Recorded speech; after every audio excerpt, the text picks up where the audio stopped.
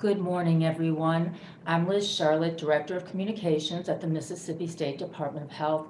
As always, we thank you for joining us. We know you all have busy days, and but our goal is to get information out to you as soon as we possibly can. So today, unfortunately, we have a record high number of cases. Yesterday, we had a record high number of deaths. Uh, Dr. Dobbs cannot be with us today, so we have our state epidemiologist, Dr. Paul Byers, and our Director of Health Protection and Senior Deputy at the agency, Mr. Jim Craig. So I'm going to first have Dr. Byers talk a little bit about what's going on, and then Mr. Craig will talk about some exciting news about uh, vaccine and vaccine sites coming up next week. So, Dr. Byers, would you like to go ahead? Uh, absolutely, and, and good morning, everyone, and thank y'all for joining us. So um, as Liz indicated, we are reporting out um, over 3,000 additional cases today. Um, that's actually 3,023 uh, cases. If, if you look, there, there was a minimal delay in reporting um, over the Christmas holidays, but honestly, guys, we are still seeing a lot of transmission out there, and this represents um, a lot of cases that we're still seeing and are being reported. Um, if you look at today's deaths, we're reporting out an additional 29 deaths, but sadly, yesterday we reported out 85 additional deaths. By far the largest number of deaths we've reported out in one day. Um, so we are still seeing a lot of transmission. It is still bad out there right now. Um, and, you know, we haven't even made it through the holidays yet. So we want to remind folks that you know, we've, we've got some exciting news about, about vaccine that we're going to continue to talk um, and uh, about, but we still need folks to wear a mask. We still need you to stay six feet away, avoid those large gatherings, stay within your nuclear family, except for those essential functions that you need to go out and do. Um, so please, we encourage everybody to continue those actions as we go through um, the holidays we are still seeing um, some stress on our healthcare capacity. Um, you know, we've got um, over 1,300 confirmed COVID cases in the hospital right now. And when you look at folks in the ICU, that's over 300 confirmed cases in the ICU. And of those, more than 200 are on a ventilator. And that includes one child.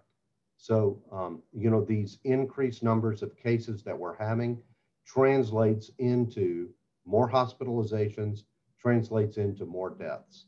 Um, and so I would encourage everybody to remain vigilant and continue to be serious about limiting transmission. But we do have a foot in the door with vaccine, and we've had vaccine in Mississippi now uh, for a couple of weeks.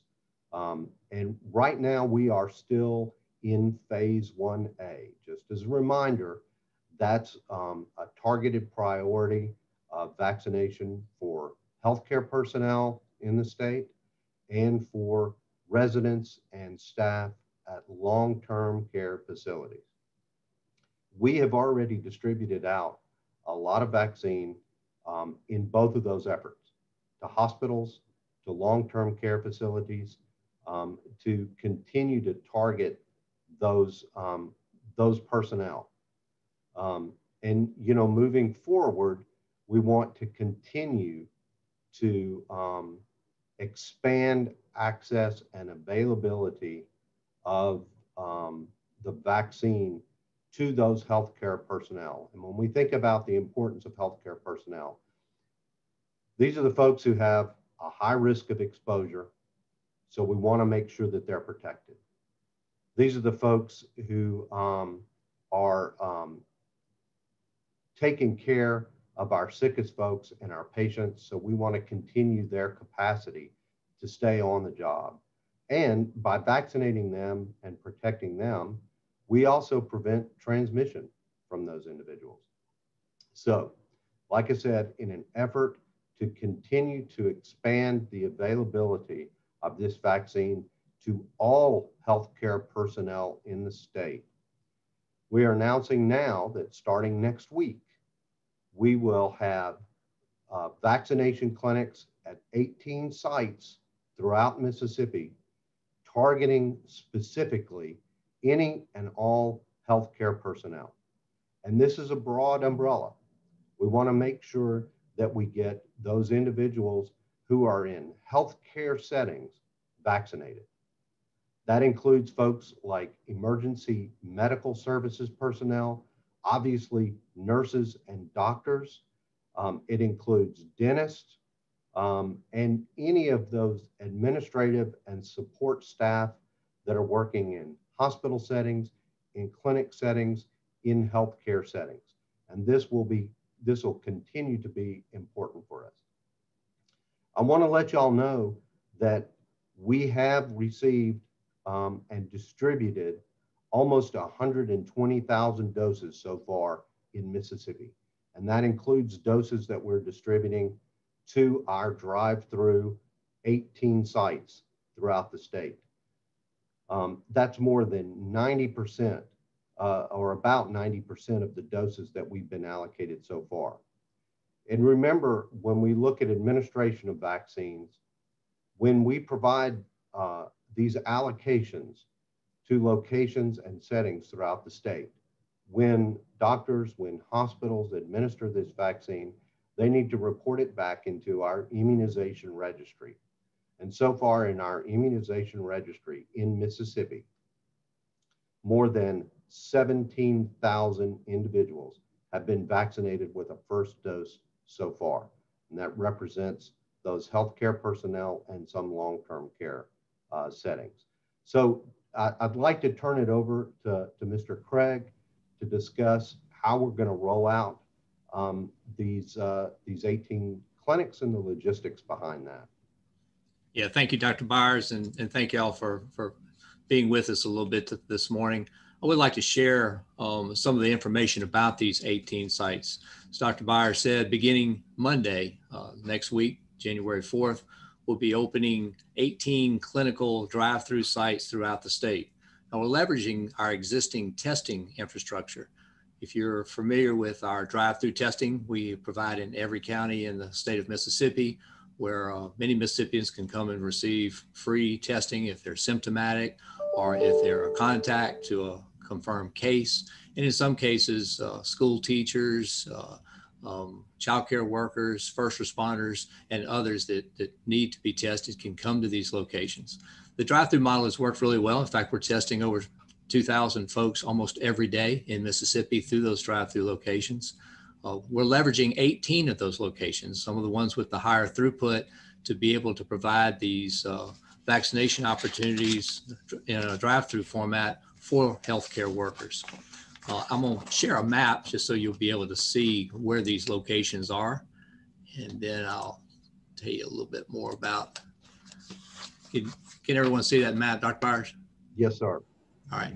So you'll notice uh, these drive-through locations, the, the triangles in the, the county box are the locations in each of the geographic testing regions that we have. And we have nine of these geographic regions that we do testing uh, in. We've provided two sites, and, and, in most cases, the high volume sites for these uh, vaccination efforts to, to continue. They're uh, very much like we use UMC as, as our partner to schedule testing. We will use UMC as a partner to schedule vaccinations. These sites require a, a, a an appointment, just like we do for us, the, the testing components. So individuals need to go online and the website is covidvaccine.umc.edu. And there they will be able to register for an appointment at one of these 18 sites. For those that uh, like to look at information a little bit different, let me share a, another uh, presentation of the data.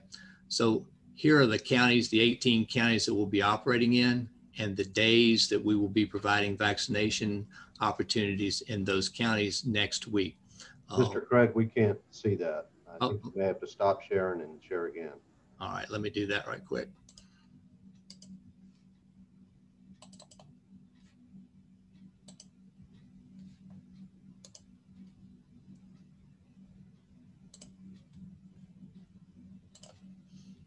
All right, can you see it now, sir? All right, so these are the 18 counties listed out um, along with the dates of next week when we will be in those counties providing vaccination opportunities. Um, uh, and those are the ones that individuals will be able, healthcare workers that are eligible can can schedule an appointment on any of these days in any of these sites, not just where they live. They, they can go to uh, areas where they work or, or, or other areas surrounding them. So uh, signing up is again at covidvaccine.umc.edu. And we, we definitely want to thank our partners at the uh, University of Mississippi Medical Center for working with us in both the testing effort as well as the vaccination effort. Uh, at these sites, very similar to what you see in testing, there will be public health nurses to assist in the administration of the vaccine, as well as Mississippi National Guardsmen that were that are vaccinators.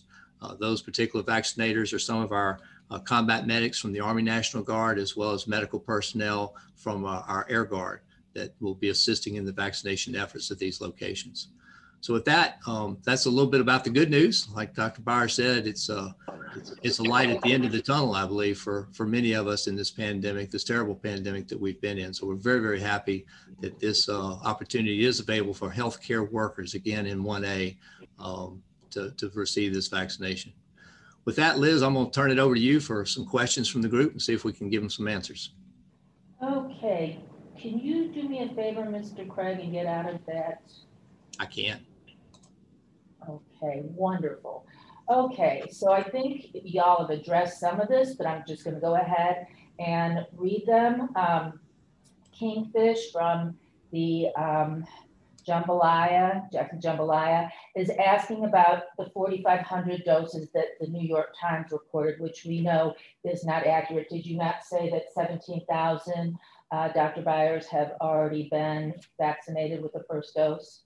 Yeah, that's correct. And, and it's important to remember that, um, you know, there can be a delay in, um, in entering that data into our immunization registry from the, from the hospitals and the facilities that are out there doing the vaccination. And so there's going to be some inherent, inherent delays. Um, but it's also important to understand that that number is updating constantly as we get more entries of vaccinations administered into that system. And when we looked at where we were um, this morning, uh, 17,410 uh, uh, vaccinations had been administered so far in Mississippi.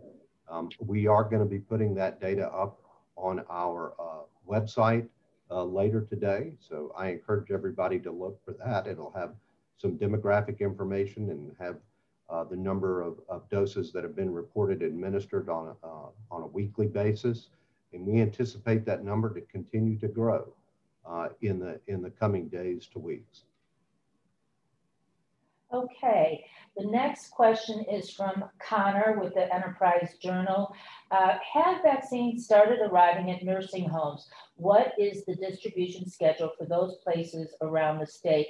So Dr. Byers, why don't you explain the pharmacy partnership and then talk a little bit about how long-term care uh, residents and staff will get their vaccines. Yeah, absolutely. So this is a, a federal pharmacy partnership that we that we have um, with CVS and Walgreens, and and we have allocated um, doses um, to that program for both the nursing homes, and that includes the nursing home residents and nursing home staff, but also um, other long-term care facilities in the state, like assisted living centers and personal care homes, to make sure that that vulnerable population that has been hit so hard during this pandemic is, is protected um, out of the gate.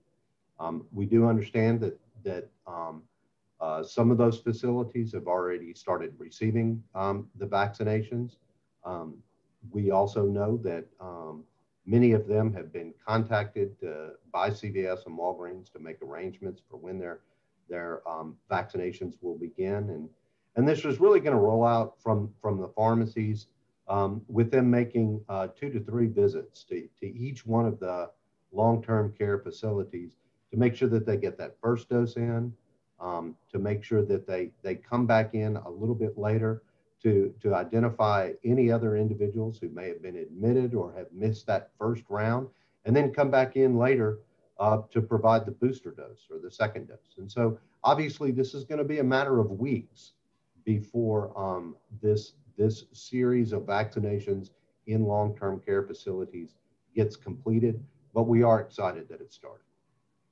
Thank you. Uh, Jennifer with Bloomberg Law, I think we have answered your question about how many people have received the vaccine. Write me back if, if I'm misinterpreting that. All right, next is Ronnie from the Vicksburg Daily News, and I'm going to throw this to Mr. Jim Craig. Does phase 1A include first responders? Vicksburg firefighters and EMTs are receiving vaccine. So yes, thank you for that. Um, you know, it's important right now to know that we're in 1A providing vaccination. So the focus is healthcare workers uh, as well as that long-term care community through the uh, the partnership and and also through our opportunity. You know, those long-term care employees that may not be able to receive the vaccine uh, right away that want to make an appointment to come to one of the drive-through vaccination clinics are, are more than welcome to, to come there as well. But on the first responders, if, if you look at it, um, it's, it's those individuals that will have uh, direct or indirect exposure to COVID patients or infectious materials. So um, EMS uh, certified emergency medical technicians and certified paramedics are definitely appropriate, but we should make sure that all of our vaccination efforts right now are focused on those critical healthcare and long-term care resources. Okay, so uh, we've already answered uh, exactly how many people have been vaccinated in Mississippi. The other question is, do you need federal support? Which one of you would like to take that on? Well, I, I, I can I can start off, and then uh, Mr. Craig can can kind of jump in, and and certainly, you know, one of the biggest pieces we've had with federal support is making sure that that vaccine is available and allocated to us so that we can um, that we can distribute it out. And, and I can't uh, um, overestimate uh, or under, underestimate how how important that's been. Uh, that's been huge for us, and and this is this is really where we need to be going with that.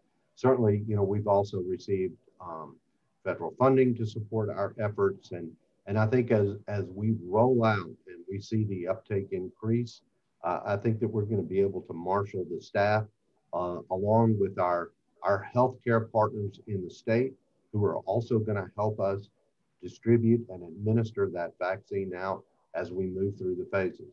Uh, Mr. Craig? Yeah, I think you're exactly right, Dr. Byers. The, the, the support has been great. Um, and, and the biggest support we need is to continue to get vaccine into our state um, so that we can we can continue these efforts around the state of Mississippi and, enlarge the groups as, as we can. But it is so dependent on us receiving additional vaccine for us to be able to, to do more good in the state of Mississippi. Okay, thank you, gentlemen.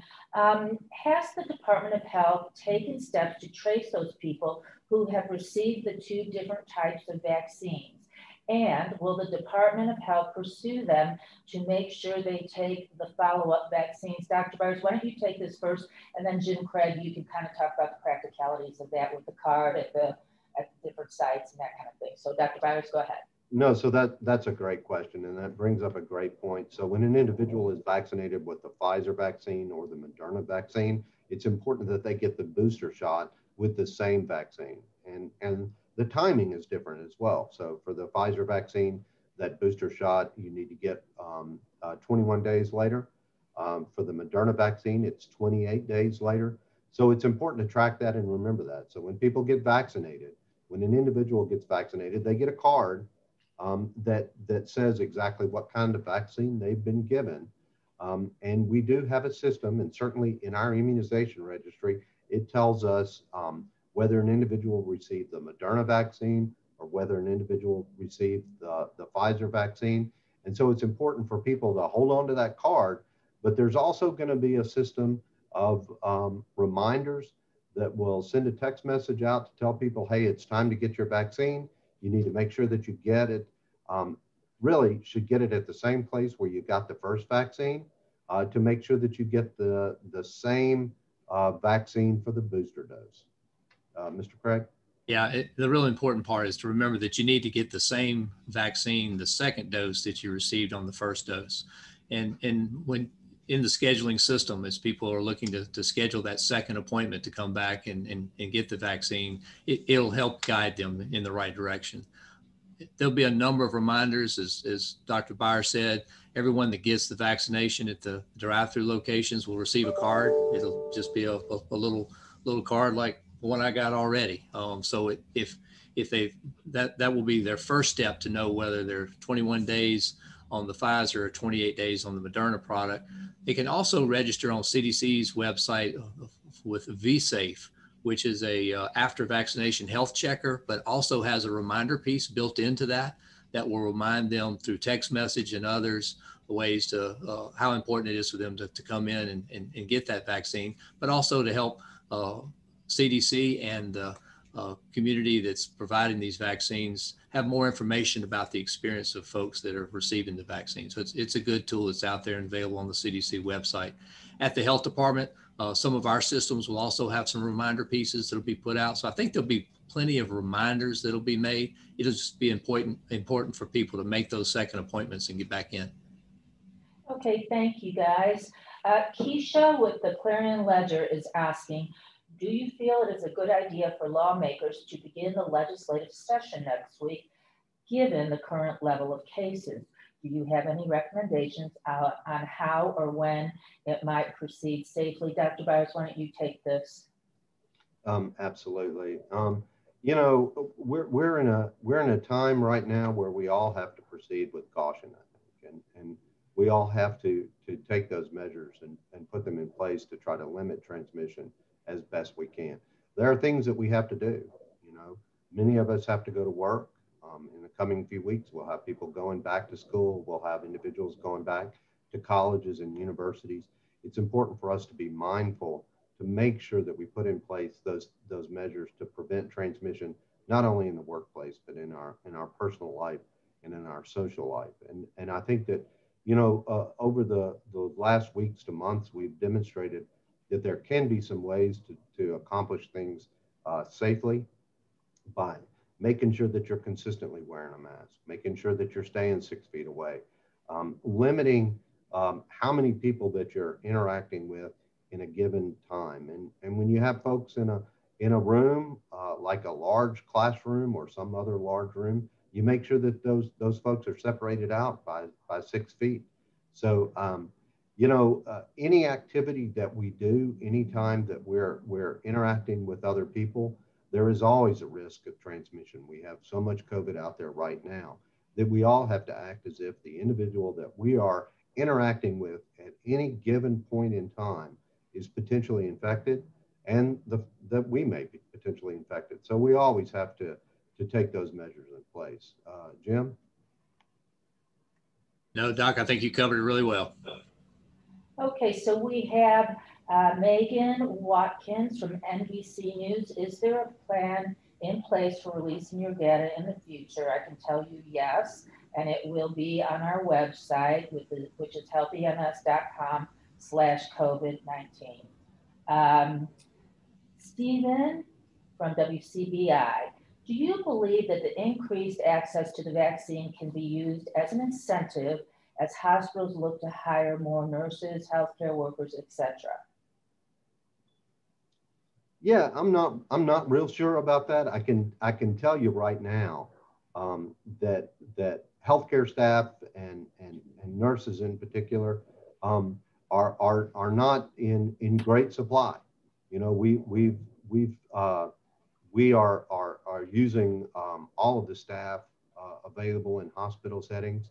Um, it would be great, however, if um, you know the the prospect of, of vaccination and that protection uh, that vaccine could afford healthcare providers gives them a greater sense of security that they want to come back and work in those hospital and healthcare settings. I think that that would be great. Uh, Jim.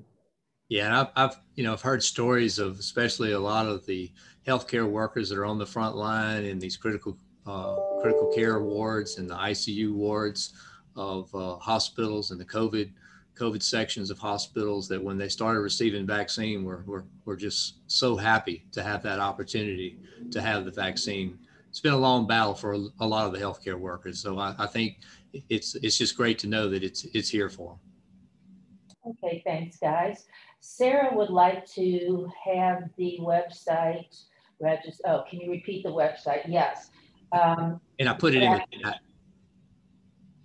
I was gonna say covidvaccine.umc.edu. Jim, did you want to add something to that? I, I know, I just uh, wanted to let you know, I put it in the chat, so you can find it in the chat.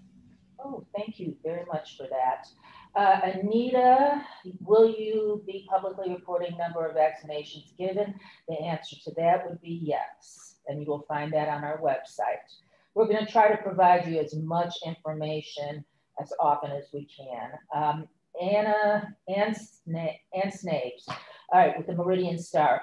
How far is Mississippi along the process of vaccinating long-term care residents? I think we talked a little bit about that. Which counties or parts of the state have started to receive vaccine at long-term care facilities? Do either of you guys want to add anything?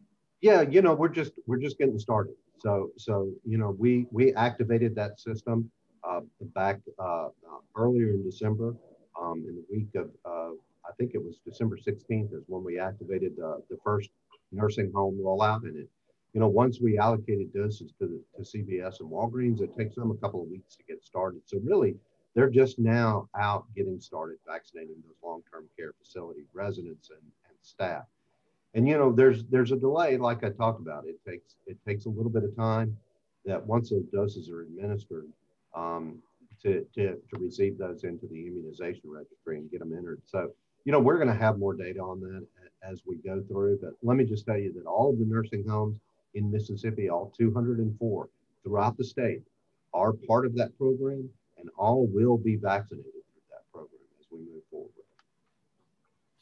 Okay. Um, Jim, did you have anything you want to add to that? The only thing I will say is that, you know, CVS and Walgreens both have uh, um, some information on their websites about the timeline in their vaccination efforts with the partnership. So tha- that might be some good resources to look at if you're looking for some timelines. Thank you. That that's very helpful. Okay, Kobe from MPB. What are your thoughts on the first reported US cases of the COVID-19 variant originally discovered in the UK, which we did talk about a little bit last week, showing up in Colorado? Dr. Byers? Well, uh, I- I'm first going to tell you that it's not surprising. Um, you know, we anticipated that that um, it was going to be found in the United States, given the fact that um, it has become the predominant strain in the United Kingdom, and with given the travel uh, that that is extensive between these two countries.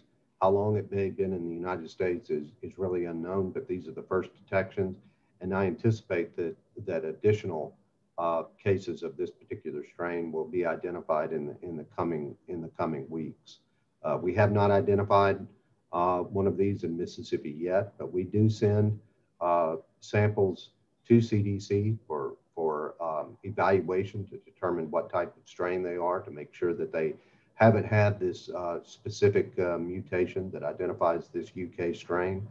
Um, you know, we're still early in the process of learning about this strain, and and I think you know more details will be revealed in the in the in the coming weeks.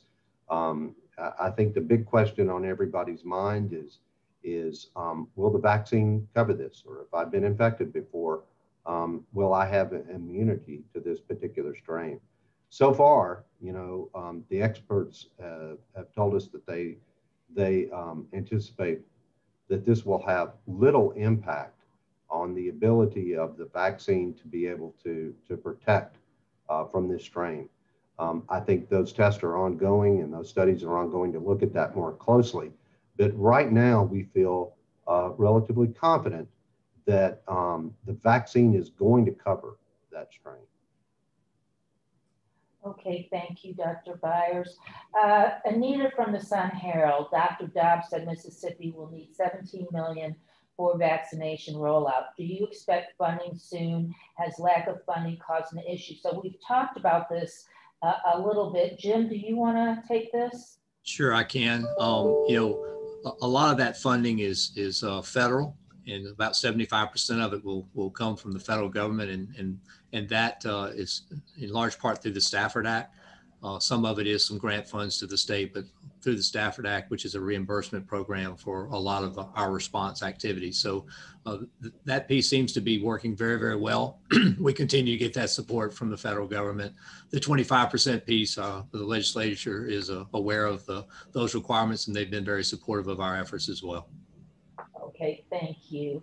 Um, Sierra from the New York Times. Uh, how many doses have been received by the state so far? I think you said, you guys have said that already. Let me look. Did you say, uh, let's see. Jim, So- want to repeat that? Yeah, yeah. So we have we have um, distributed um, about 120,000 doses so far, and that that represents um, about 90% of the doses that have been allocated to us. Um, and and you know we're working on getting those other doses out the door um, even as we speak. Yeah, our goal is always to get it out the door and in the arms of people and not waste any any doses whatsoever. Kate Absolutely. Fish from the Jackson Jambalaya, how many doses are given to the state veteran homes? If not, when? Now, don't they have their own program for the veteran homes? Jim? So uh, our state veterans homes are nursing facilities within the state. They're licensed by the health department as a nursing facility. So much like the other long-term care facilities, they're uh, they're receiving their doses through the partnership. I believe for all all four of our homes in Mississippi, their partner has been assigned as CVS. So CVS will be working with them to get their uh, their their doses administered. Thank you. Uh, Rogelio with the AP, and we've already talked about the legislature a little bit, but I want to repeat all questions unless there's, in case y'all have additional information. With the legislature beginning Tuesday, are there plans to inoculate the lawmakers and Capitol staff? Or will COVID testing be again offered to identify and eliminate those folks that might be COVID positive? A large minority of lawmakers are over 60, but not 75. So are they to wait until they are eligible? I would think the answer to that is yes, because our first priority is going to be healthcare workers, which are critical to our infrastructure and surviving COVID-19 and our long-term care facilities. But do you gentlemen have anything else to add? No, absolutely right. We recognize the vulnerability of individuals um, who have underlying medical problems or who are older, especially those folks over the age of 65. We know that they are at higher risk for severe outcomes right now. And, and certainly everybody is going to have a turn as we roll this out, and we're going to do that as quickly as we can. Uh, right now, today, the focus is on those healthcare workers in those long-term care settings. But as we move forward, we anticipate that we're going to be able to, to move to those people who are more, more vulnerable. And, and just remember that we do have a, a few legislators that are healthcare workers. So if you do hear of a legislator that, that, that receives vaccine, he, he may be a health, he or she may be a healthcare worker. Thank you, guys. Okay, uh, Lauren is asking, there seems to be confusion over some basics of medical science. Can you explain in layman's terms how COVID can cause fatal problems outside of the lungs? For example, before the Louisiana congressman died, the New York Post reported he had a heart attack after a procedure. Um, and yeah, I, I can I can talk a little bit about that. And and so we know that um, uh, unlike flu, which is primarily a respiratory illness, um, COVID is is not limited to just the respiratory system. It can affect and um, uh, impact any organ system, and can have an impact on the kidneys, on the heart, um, and and a lot of times be, because of that, um, it can lead to complications that that can um, require hospitalization and sometimes lead to deaths. And so, you know, this is one of the reasons why those people who who have those underlying chronic medical problems like um, diabetes that can affect many organ systems already, it can already cause some organ damage, um, or heart disease that can impact the heart. Um, this is one of the reasons those, those folks are, are at higher risk for these severe outcomes. So, you know, I, I think it's just another illustration. COVID is not the flu. And, and for folks who say that, that this is just a, a bad case of the flu, it's not. It can impact any organ system in our body and can lead to complications and death. Okay, thank you. Um, Is there a breakdown of total doses expected to be available at sites next week in North Mississippi counties, DeSoto, Lee, Panola, and Lafayette? Mr. Craig, we did talk about this yesterday. It, how, what is the allotment? Is it the same in all the counties? Yeah, so it is the same uh, for, for each of the counties. Again, these are some of our high throughput locations. So we will have uh, 210 appointments available each of those days that I showed at each of those locations. So uh, for Lee County, in, in, in other words, there'll be 210 uh, appointments available on uh, the two days, each day uh, of the two days next week.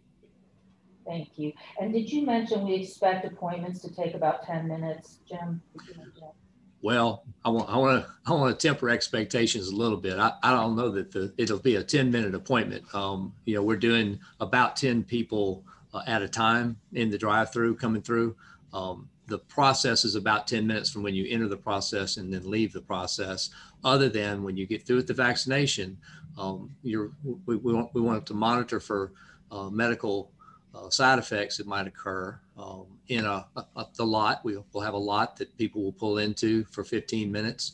And, and that way, if there are, are any adverse reactions, we can monitor and assist those individuals. Thank you so much. All right, Kingfish from the Jackson Jambalaya, good question. What about elderly who cannot make it to vaccination sites? Jim Craig? So the current plan right now is to, to work through the, the vaccination sites. That's the good news for right now. We do understand that a lot of our partners, whether they're in uh, federally qualified health centers or other, other places where people normally get health care, uh, as more vaccine is available, we'll have more opportunities available. Okay. Dr. Byers, did you want to add anything? No, I, I think Mr. Craig covered it completely. Okay. Kobe with MPB, asking on behalf of someone I interviewed this month, when might morticians and or funeral home employees qualify for the vaccine as that career has crossover with first responders and the medical field? Uh, Jim Craig? So, you know, it, it's not clearly defined yet exactly what 1B and 1C is going to be fully um, uh, inclusive of. But right now, the priority is healthcare workers, those essential healthcare workers, and the long-term care facilities. The rest of it, you know, we'll we'll we'll we'll make other announcements as we know a little bit more. But they're they're very important. We want everybody, all the essential workers, to get the vaccination uh, when they can. But we do have to, with the limited supply, we'll, we'll have to figure out some priorities within these groups, and and not knowing what that supply is is limiting what some of that conversation is right now. And, and I just want to throw out a little bit of perspective too. I mean, when you when you look at the estimations for for the number of healthcare workers that we or healthcare personnel that we have in the state, i- inclusive of those emergency medical services, we're looking at, at about 200,000 folks in the state that that would qualify as healthcare personnel. When you add um, the additional long-term care residents and long-term care staff, uh, you know, that adds another, another um, uh, 60,000 folks. So, you know, we're looking at 260,000 initial doses um, to, to get healthcare workers vaccinated in the state. We're looking at, at potentially half a million doses or more to get um, every healthcare personnel vaccinated in the state with, with two doses. And so far, we've, we've been able to distribute out about 120,000 doses. So you can see that we still have uh, a process to go through as, as we work through the phases. And, and we want to make sure that we, we get as many people in each phase protected as we move through. Yeah, that, that's very helpful. All right, I think we need to clarify this. Any challenges out there of why 17,000 doses were administered out of the 120,000 distributed so far? So in that 120,000, that also includes our sites. These are allocations. Uh, Jim, do you want to take that on?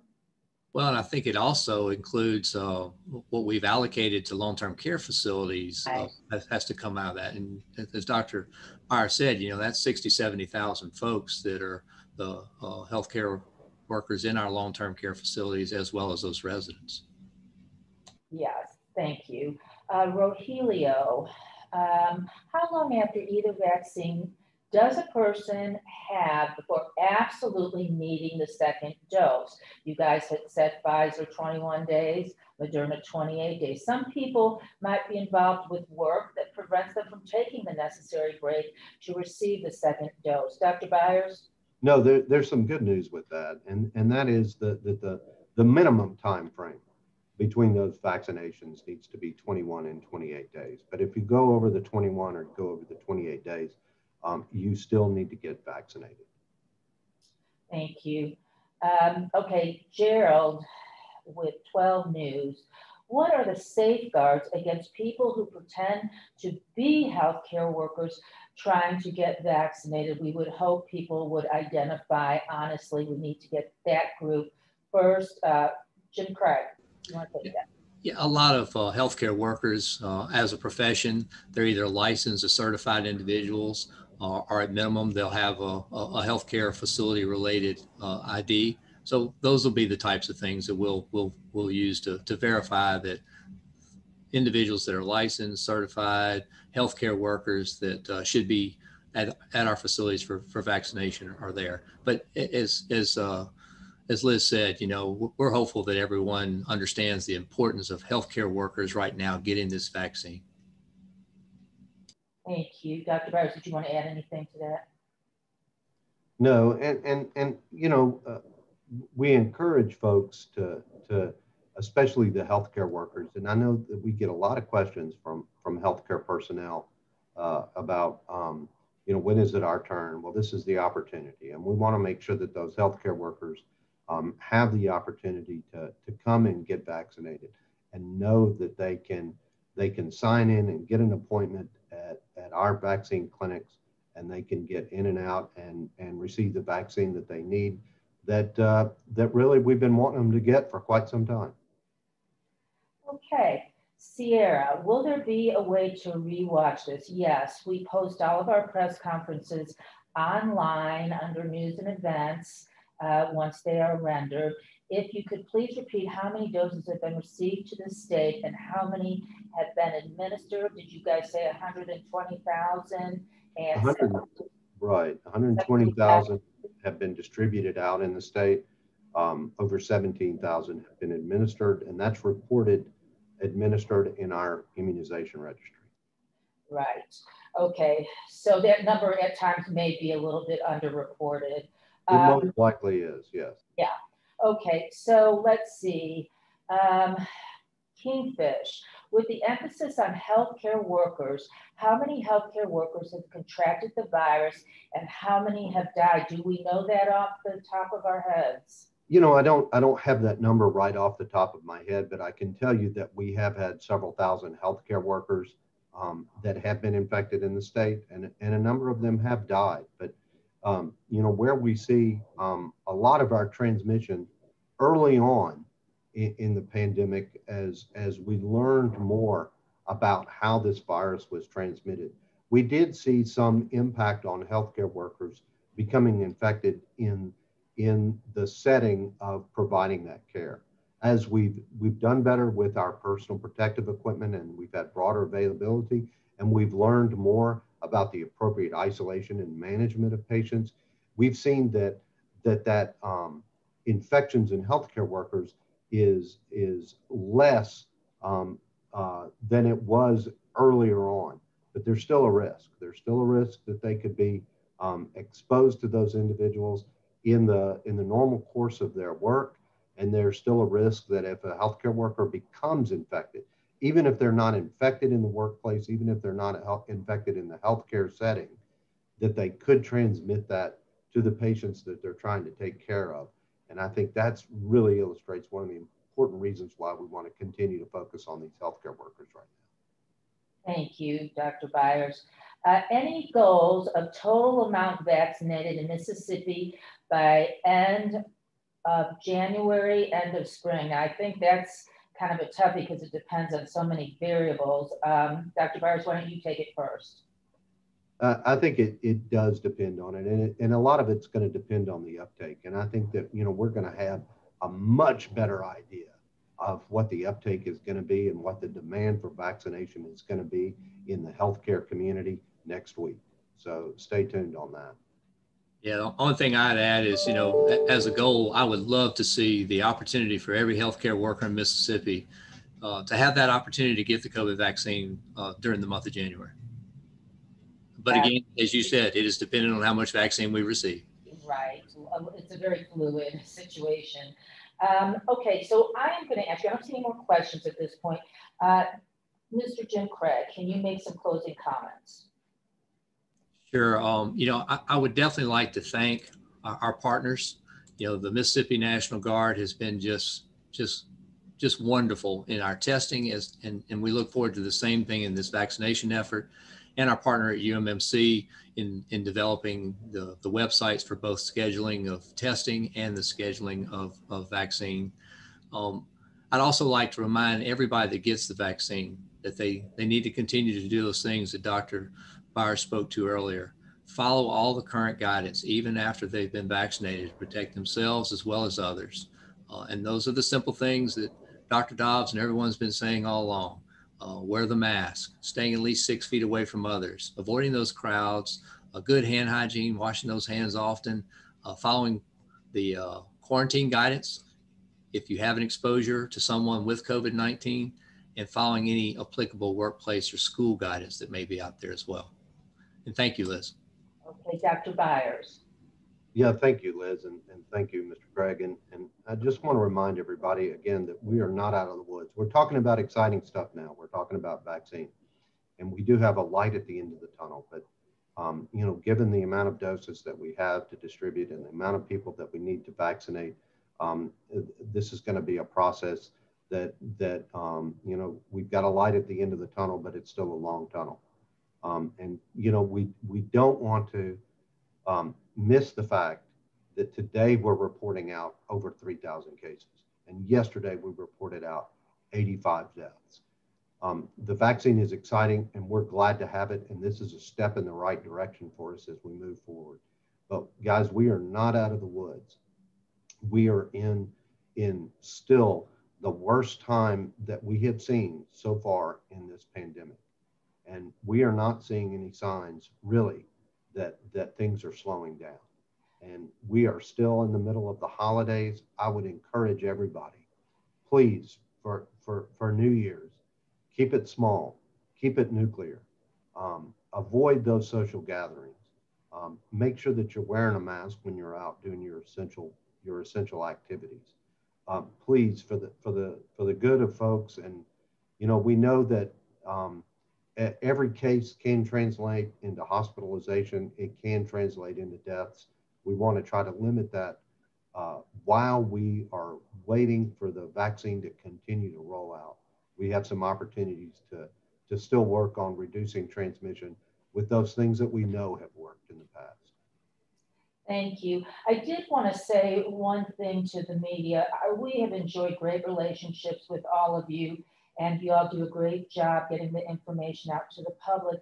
I had an unfortunate incident on Monday where uh, a reporter went into the county health department and took pictures, which is highly prohibited. You can get, as we do testing and as we do these vaccinations, you can get wide shots standing off the property. Um, if you find folks as they're driving away that want to talk to you, that's fine. But but we do not allow reporters on the premises or anywhere where, where, we are providing vaccinations.